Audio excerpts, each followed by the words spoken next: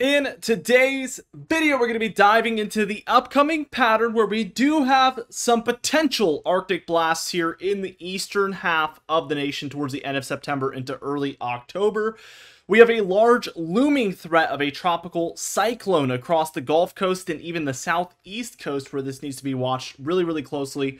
Could be a hurricane or even a bad, bad hurricanes. We're going to be discussing that today. And then the overall flip in the pattern. Things have been dry in the east for, I would say, over a month. We do expect that to flip into the opposite direction where the west really dries up and the east sees a lot more activity. Now, before we dive into things, be sure to check out Prestige Weather, where we're going to be doing a 99 cent for your first month deal once more. It's only five bucks typically, but we're doing only a dollar for your first month. That's an automatic discount, so you don't even need to put a code in.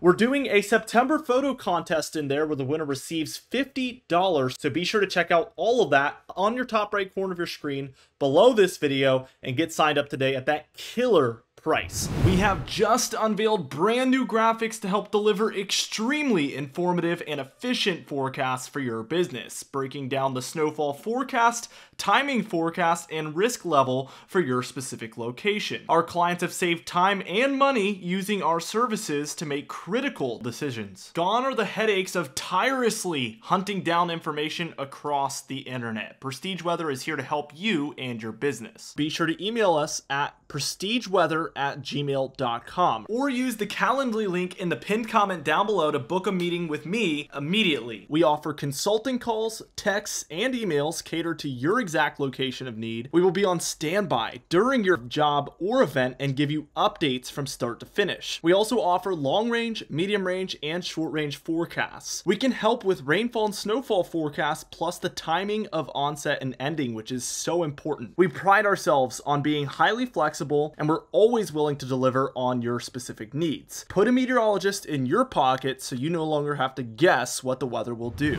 Now let's go ahead and dive into things. We're taking a look here at the past seven days just to get a little bit of a refresher in where we're at on the pattern. We have this strong negative PNA out west, which has really caused this surge of warmth into the central states and a lot of the east here, especially the further north you are. As you can see in the east, we have held on to some of these neutral or below average temperatures throughout the deeper south and into the southeast. As we have been discussing, I do expect this to try to hold on maybe even through the whole month of September. Speaking of the whole month of September, here's how that has gone to date, or at least through September 19th. And you can see that we are beginning to see cooling out west. We started out very warm, but there has been a cooler pattern as we just noted in the previous seven days. That looks to cool down this west area overall. The warmest, warmest pocket I would say is here across the northern plains, upper Midwest, even northern Rockies here, where we have had just an above average temperature month overall so far. The coolest areas to date are going to be for these areas across the south central states, the Midwest, and even into the mid Atlantic down through the southeast here. This is going to continue to warm overall, especially in these northern corridors, once we add the next few days. So keep that in mind. We will review this with each other overall. Total snowfall through the 19th here looks as this. I mean, we see plenty of snowfall across the Cascades and Sierra Nevada, a couple inches for those mountaintop locations. Same for most of the Rockies, although we do have areas of up to a foot or more for the Yellowstone area, and even some areas in north central Wyoming where there's some very tall mountains. We are seeing uh, those large amounts of snowfall out there as well. Total precipitation over the past 14 days looks like this. We see plenty of activity moving through kind of this northwest area We've seen a few storms move up through here.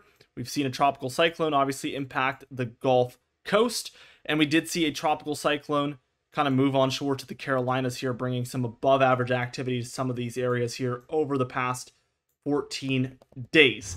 Let's take a look at the upcoming pattern though, and there is a lot of interesting things to discuss. And as we even reach towards this afternoon, what we're seeing is a more major storm system over Colorado here.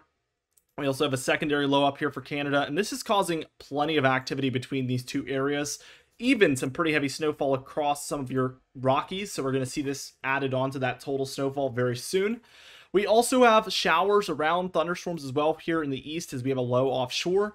Keep that in mind. Your jet stream is very interesting at this point. Large ridge in the east here.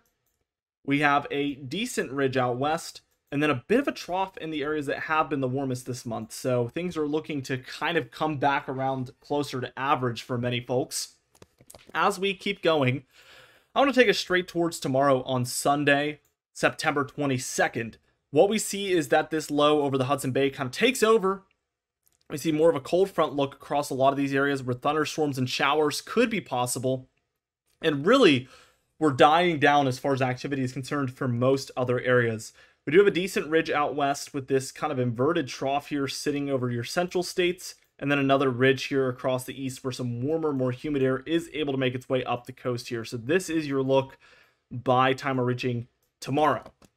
As we reach towards Monday on September 23rd, uh, it looks like a low might be trying to develop somewhere near Illinois or Missouri. We'll have to see if that ends up happening, but that could spell a warm front look here, cold front look there, which would really hinder the colder air, especially if you're in the north. As we see this warm rising motion start up again and the cold sinking air back to the west, we could kind of end up right back where we started. Uh, I would expect thunderstorms to be highly probable here for Texas, Oklahoma, Arkansas, Missouri, and definitely possible here for these more northern counterparts, although showers would be the more likely precipitation type for those northern areas. Tuesday, we kind of see what I'm saying. We get some lower pressure, especially overnight. Monday into Tuesday, we never really get a strong low in there. Uh, but we do get kind of the same effect here. I mean, a cold front trying to set up underneath, warm front trying to take place here to the east. So something like this, I suspect, is what we're seeing take place here with the cold air trying to swing in underneath. This is all really aided by this huge ridge out west. Now we have way less of a southeast ridge. We do have it there, especially if you're in this very far southeast corridor but mostly we're seeing cooler temperatures for the central and more neutral here throughout a lot of your northeast and mid-Atlantic with storminess here located across all of these areas, of course. By the time we reach Wednesday on September 25th, we see that storms are really common here in the mid-Atlantic and northeast on this model run and also for the south central states as we see kind of the lingering impacts of that storm system. Your trough is still inverted towards the south central states, and we are seeing the majority of the cooler air head into there. We are seeing some reach towards the eastern seaboard here as well, kind of accompanied by this storminess that is located there, and also for the south central states still. Our tropical cyclone on this model is located over the Yucatan Peninsula. We can see there's plenty of moisture around it as well, and we're going to be watching the, the entire Gulf coastline for potential impacts from that system. Thursday on the 26th, as you can see, the continental United States is not seeing too much action unless you're in the Northeast here, where we do have a very, very weak nor'easter. Hardly would call it a nor'easter, but showers, maybe some heavier sustained rainfall in there as well with a little bit of winds, but nothing too major. That is taking place for New England especially. We see our tropical cyclone here, and we do see some tropical downpours perhaps taking place nearby that western Gulf of Mexico. Again, we've talked time and time again about how this European model wants to bring it west. The GFS model is much more north and east with it, so there is still that disparity. Uh, as we reach towards Friday afternoon, we do see this system strengthening in the Gulf of Mexico, though, 999 right in the middle, and we see so much moisture. There's so much warm water in here, and I would expect this to rapidly develop here across the Gulf of Mexico from this point, Thursday, Friday timeframe. We do see a stronger nor'easter again located offshore of New England in the northeast there. Showers, rainfall, overall wind could be a threat there. Going to be kind of a dreary uh, end to your week, mid to late point of that week. We do see a strong storm system for Western Canada. This is lingering effects down into the Cascades. Also, snowfall across the Canadian Cascades and some of the Canadian Rockies as well there. Saturday, here on September 28th, we see our low in the Gulf is continuing to strengthen 994 here, uh, bringing heavy rainfall to the north and to the east of this system, especially. So, this would spell trouble for Mississippi, Alabama, Georgia, Florida as far as heavy precipitation here. Your low offshore of the East Coast kind of just sits tight, weakened a bit. Still, a very interesting storm. And we actually do have a pretty decent trough there for the West large ridge over the central states once again, and then a dipping trough here, meaning colder air for the mid Atlantic and Northeast, but really warm if you're west of that area. Could be the trend here according to this model. Very far out, so take it with a grain of salt.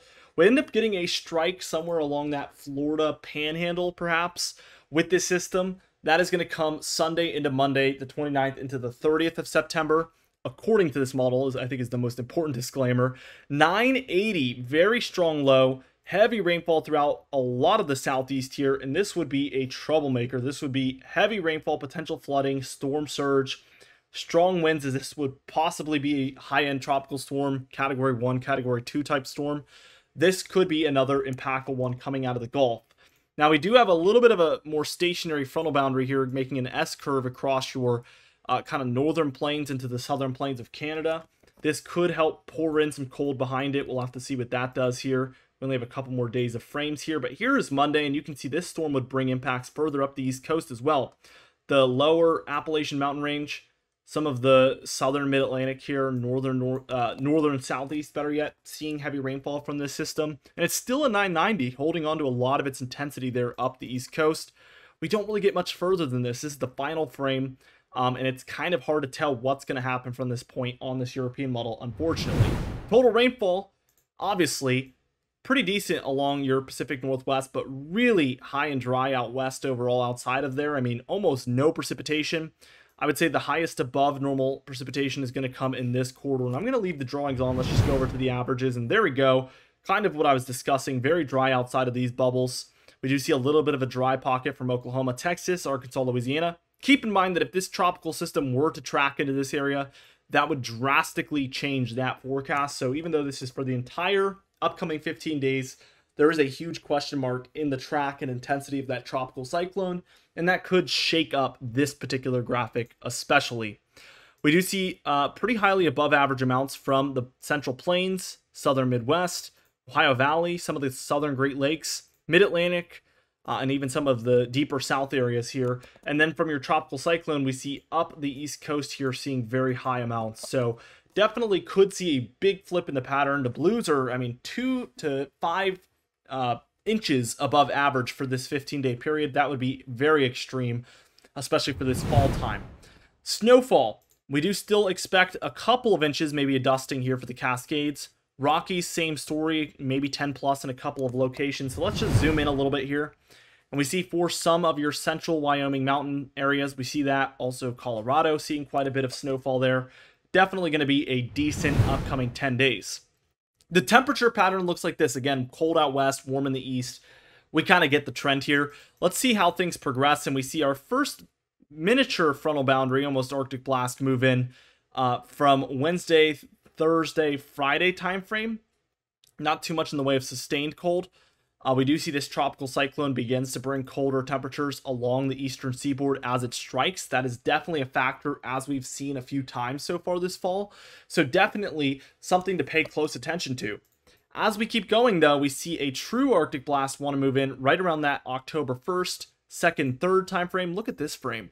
Very warm out west. This is going to be a healthy positive PNA. Notice the how east-based that cooldown is uh, you kind of wonder why, right? And the reason being is because this positive PNA is so east-based, it forces everything a little bit further eastward than normal. This would be a pretty depressing pattern in the winter, as typically you would see a jet stream uh, further offshore here. And this is the type of pattern that if it sets up in the winter, I mean, it's cold enough for snow along the east coast, but that storm is way out here. Uh, so you can't really get the precipitation mashed up with the snowfall. So let's be thankful, cold and snow lovers, that this is happening in October perhaps not, you know, December, January, February. Uh, I will take the cold though. I love the crisp weather and it holds on. Here's the fourth, fifth, sixth. I mean, we have a second one on the way, perhaps around that 7th of October timeframe. So perhaps a colder month uh, on the way here overall. Definitely very, very interesting uh, to see a big flip in the pattern overall. Here's the long range look, and we're going to just take a big look at this. This is the 22nd through the 27th. Here's the 27th through the 2nd. Here's the second through the seventh. So on our long range guidance, we're getting some reassurance that, hey, this forecast is onto something, what the GFS model was showing. The CFS model, which is completely different, showing the same thing. So even though it's long range, we are getting pretty good agreement here, which definitely bodes well to the colder uh, idea of October. Here's the 7th through the 12th, a lot of the same. The 12th through the 17th warming a little bit, but not by much. Finally, by the end of October, we get a little bit of a brief warmer period. It looks like from the 17th through the 22nd. But here's the 22nd through the 27th, kind of closing things out the same way we started, much below normal. Maybe even starting out November here. This is October 31st, Halloween, in towards November 3rd, or November 5th, better yet, and we have colder temperatures overall prevailing here across much of the east. Overall, the next 30 days, so September 22nd through October 22nd, we see a colder look in the east, warmer out west being trended here. Very interesting development. Here is the overall tropics according to the National Hurricane Center's seven day graphical tropical weather outlook. Obviously, the main issue here is going to be this Gulf one, and we currently sit at a 0% chance over the next 48 hours. You know, we watched the models. Obviously, this is not expected over the next two days. But over the next seven, we do have a medium 60% chance of development. This has been consistently increasing every single day, and I always tell you guys to watch out for that. Uh, and don't be surprised if tomorrow's video, this is a code red 70% chance of development. We're going to be watching this one ever so closely as it could be one of the more impactful systems of the season if it absolutely develops the way the models are showing. We see a couple of yellow risks here, so more lower risks, and we see this one here, 10% chance both over the next two days and seven days. Likely not going to develop, very low chance. And then this one's a 0% chance across the board. Don't even know why it's on the screen. Still the remnants of Gordon. We're talking things two weeks ago. So very interesting. We do have this area off of Africa, and we've been talking about this one a little bit here recently. This one has a 0% chance over the next 48 hours as well, but we do see a 40% chance over the next seven days. Perhaps another system to watch here during this mid to late hurricane season timeframe. Very interesting. I'm going to be keeping my eyes peeled. I'm sure you guys will as well. Anyway, thank you so much for watching this video. Be sure to subscribe as we do upload every single day. You can even hit the bell icon for daily notifications when we upload so you never miss one. Be sure to like the video if you did enjoy it leave a comment down below, and I'll see you guys in the next video.